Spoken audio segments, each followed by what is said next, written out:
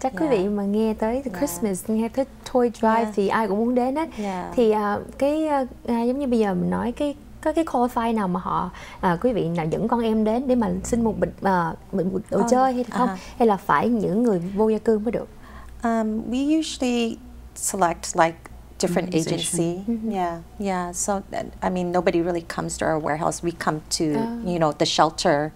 We come to the special needs school. Um, you know, we go to the foster agencies. So yeah. Theo cái sự đặc biệt của Operation Be Kind là mỗi một tháng á, Yeah. um, hội uh, từ thiện của Operation Be Kind uh, select một cái group cái nhóm mới So, thường thường mấy cái từ thiện ở ngoài đó bây giờ là có những khi giống như breast cancer là chỉ có về ung thư thôi.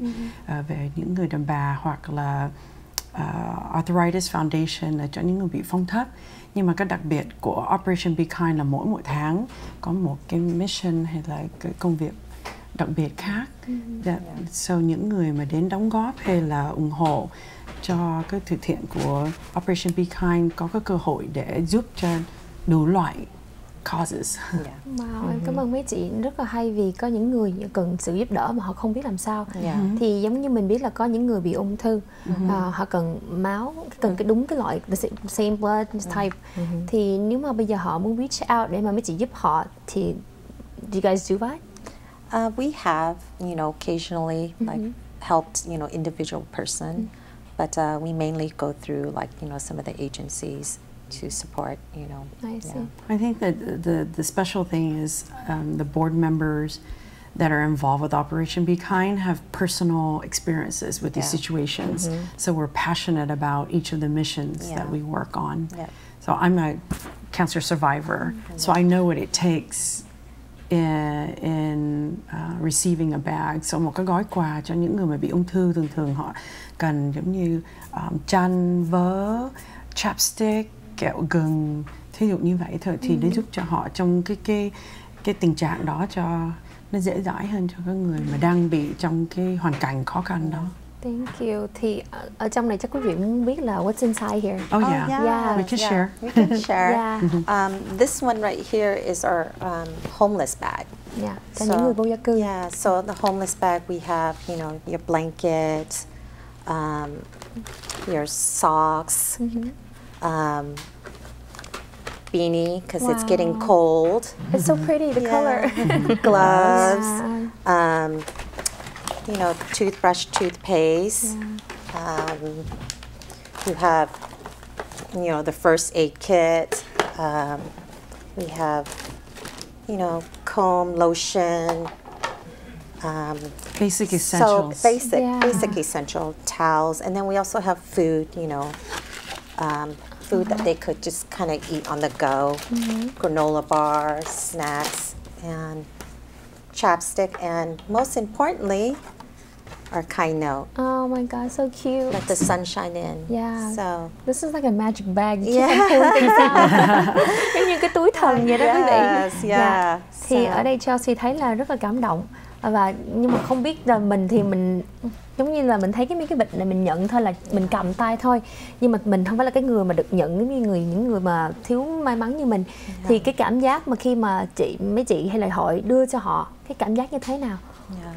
Ô, chị cho em uh, chia sẻ một cái um, về một người mẹ trẻ đã được nhận một cái túi um, chemo bag của Operation Be Kind. Yeah. Ờ, cô ta là, là bệnh um, ung thư um, tử cung mà đã phát qua. Mà sau này đó là cái ung thư đã trở lại và lan tới xương sống. Thì cô ta có nhận được cái bịch um, bịch này của Operation Be Kind mà cô ta rất là cảm động và biết ơn về cái món quà này. Mà hình hình ảnh này thì tụi em cũng rất là cảm động. Dạ. Và và thấy là cái cái việc mình làm nó rất là là vui. Dạ. dạ rất là dễ thương yeah, Yeah, như- yeah. giống như cái mình you pass on the kindness Yes, yeah, yes, thì yeah. một một người đó nhưng mà em đang suy nghĩ là những à, mấy chị ở đây làm sao có cái thời gian Yeah. where to get the time to do all this You make the time. Yeah, Yeah. we make the time. We all are busy moms, and we, you know, um, they work full time jobs, and we just make the time because, you know, for us, um, just spreading kindness to just people in need is just fills our heart. So, Yeah. thời gian rất là khó khăn cho Yeah. mọi người ai cũng phải đi làm hết Yeah. cũng có công ăn việc làm riêng so Yeah. Yeah, yeah. ở đây giống như những người mà muốn mở thời gian nhưng mà họ là sợ commitment Yeah. giống như là nhưng mà khi mà vô cái group rồi mình có cần là phải bắt buộc phải đi all events hay là No, Yeah. no. Just you know, when you have the time to, you come volunteer. You can help. You can donate. And, you know, you could, you know, whatever to help whatever. on Facebook Yes, yeah. Just share you know when you làm việc thiện it's Yeah. not mình không có làm việc thiện vì Mình. đồng tiền Yeah. you know mình làm việc thiện vì cái cái cái experience Yeah. uh, cái cái cảm giác của mình trong lúc mình giúp một người khác ở trong cái hoàn cảnh khó khăn như vậy Yeah.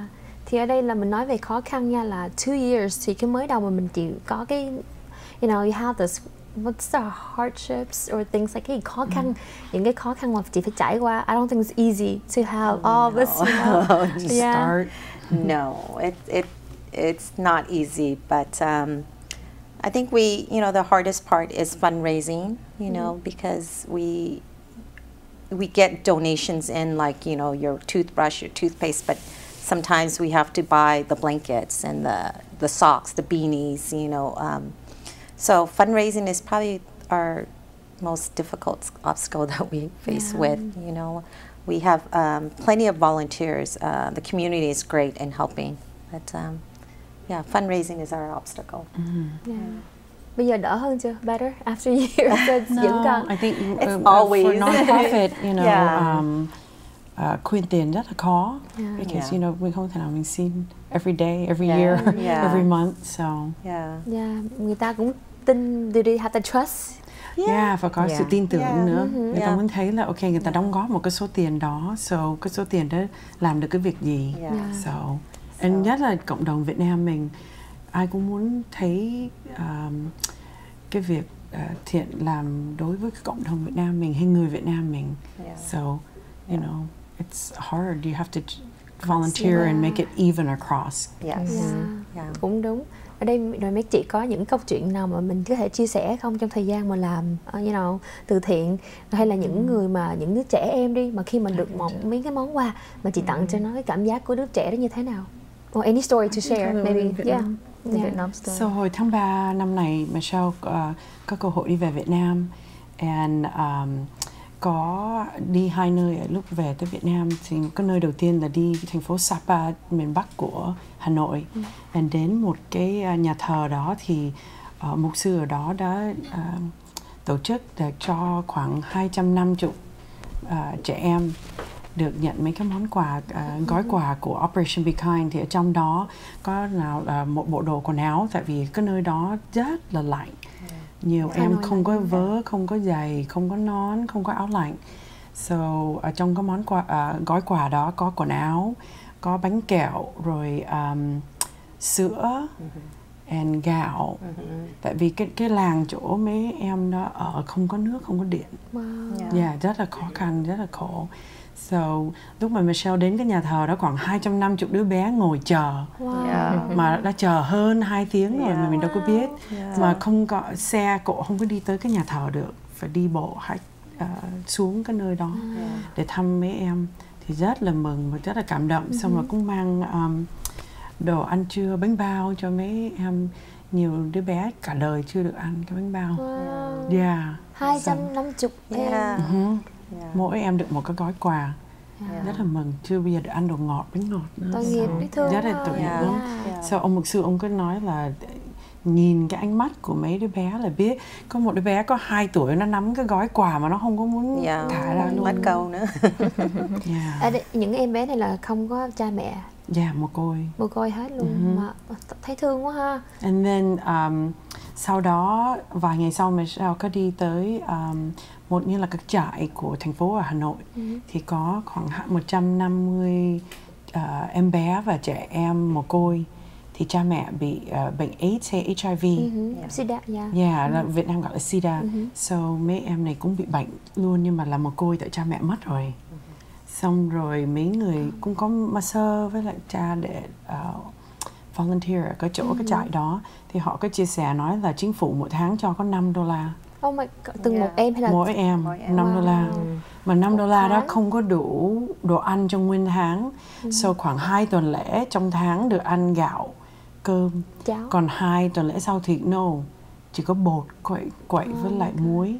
Làm sao mà tại vì phải có tiền để lại để lo à, thuốc men cho các em. Cái nghĩa là cái nó đâu có được ăn uống mà cái tức là very nhỏ con không có được cái Yeah. gì. dạ Cái là ở bên suy Mỹ này dưỡng. thiếu gì hội and Yeah. um, uh, organizations to help ở bên Việt Nam thì Yeah. không có trong khi ở đây